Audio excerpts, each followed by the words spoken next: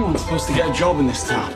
Ladies and gentlemen, the board, Mr. Paul Carpenter. Glad you found us. What do you do in your spare time? Well, all my time is spare, really.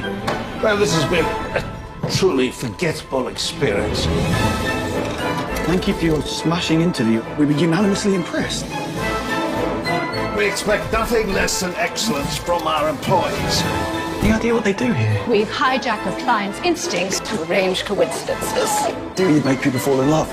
Yeah, fall in love, divorce, discover gravity. I've lost something, something immeasurably valuable.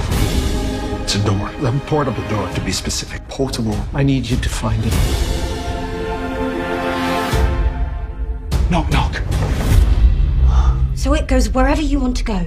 This has just become the best job in the world. Come on! Nails. Operation Fine Print. We were able to influence this young consumer. Imagine what we can do to the masses. We have to do something. There are no words to describe what we'll do to you. Who closes the door keeps the door.